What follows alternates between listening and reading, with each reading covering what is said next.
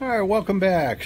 So I want to do a little video on um, time and what does time mean to you and, and uh, how have I been spending my time. You know, this having a terminal diagnosis really changes perspective on on time and what you do with it and what your priorities are. And it seems in the last, since this whole diagnosis has come down, I don't even know, two months. I mean, I've lived a lifetime of things. And so, I don't know, just kind of share that, maybe help help you think about what uh, use your time, because we're all on a limited time schedule, so we want to make most of it, but don't want to be crazy. We want to enjoy and relax, do those things. So anyway, further ado, smoking this Colorado Claro, excellent cigar.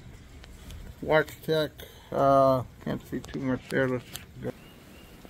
I still have the old trusty uh, Casio Oceanus Solar, really nice. No boot check today. We're we're doing the Hokas to keep me stable on my feet. So anyway, um, it's funny, like time takes on a whole different proportion when you know you know your time's limited. I don't know how limited my time is. You know, obviously depends on these treatments, and they've been going good, and I think I'm feeling better. But um, the time is certainly precious, and I haven't had to plan a lot. You know, it's like God's grace. I've just been given opportunities to meet up with people and family and friends and do great crazy things. I mean, just this week alone, you know, I went to the Cavs game. My friend Kevin, fantastic uh, seats. Went to uh, the Marble Room to eat afterwards in Cleveland. Um, you know, yesterday my niece was up. We went to the Cleveland Museum of Art after my radiation treatment. Um, that was really cool to get through there and gosh, I mean, it's just been a whirlwind. I have to look at my calendar to see. My coworkers came up. Uh, we we had uh, dinner in Little Italy, fantastic dinner. My niece was there and other friends, and um, yeah, we'd go down to a cigar shop, smoke a cigar, and uh, you know, just kind of enjoy. I'm planning on. I think uh, we're going to go to the Guardians game here coming up and just spending time with people, you know, is very important. You know, some people say, well, have you watched this documentary or you've done this? TV doesn't appeal to me right now. You know, it's like a wasted time, you know. I mean, I've got my own adventure, you know. I mean, a good movie, I guess. Um, my radiation friends out there in China, I know she goes to the movies and sounds like she does it right. She gets the popcorn and relaxes and all that. So I, I could do that, but you know, just um, I will say on the opposite side, I love watching the Guardians. Baseball's so relaxing, so um, I look forward to that, and so I don't consider that a waste of time. It's just fun. Hang with family. You know, it was an interesting little conversation I had earlier with my wife. My wife and my sister are my primary caregivers right now, and um, they're great. Um, been fantastic. You know, what a blessing. But sometimes they can overthink it. Don't tell them. But you know, so it's like, well, Friday, my wife will come pick me up here. We'll go back up to Cleveland and stay at the Hope Lodge. I'm like, why would we do that? It's an hour, hour back home from here, an hour to Cleveland. You know, the only you know, so obviously I want to go home. I want to go home and spend time with the dogs and the house and, you know, nothing beats home, right?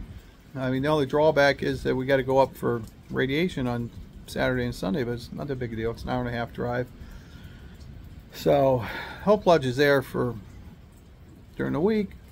When I come home on the weekends, I'm going to come home. So, so that's, I think Lisa's going to come up, pick me up here instead of, you know, her idea was, well, I'll go up and stay with you at the Hope Lodge like no let's just go home. So so anyway that's that's the plan there. And then when we go up you know Lisa and I can spend time we can get something to eat. Cleveland obviously you've seen all the foodie stuff. Some of my friends said I should do a food tour of Cleveland video which maybe we'll see. So time again how do you want to spend it you know? I mean we all have our obligations you know, obviously my work obligations have been taken from me. You know, I did a video on, on the get to versus got to. Um, but other people, you know, you got to obviously spend your time working, being productive, and then finding relaxation time. But, you know, don't don't forget to find the joys in life. You know, life's too short. Stuff like this comes on. You never know. God forbid it doesn't happen to you, but we all are going to get something, right? And so make make good use of your time. Um, that's why these addictions are so in, insidious, right? That people get hooked on, whether it be alcohol, drugs, you know, just video games. You know, it can be such a time suck, you know, and again, if it's relaxation, but when it takes over, it's like it starts dominating your your time, you know, and that's not a good thing. You need to, you know, make use of it. So, anyway, I'll get off my soapbox. Um, yeah, I mean, in, in, so many ways, I'm blessed that I'm aware of this diagnosis. I'm aware, use my time wisely with friends, family, and doing things I enjoy. And don't sweat the small stuff, right? And in the end, it's all small stuff. So, and stay, stay connected. How can you not be spiritual in a beautiful place like this? My sister's place. It's just wonderful. So, good seeing you all. Hope you enjoy the video. Thanks for your comments, and I appreciate the support.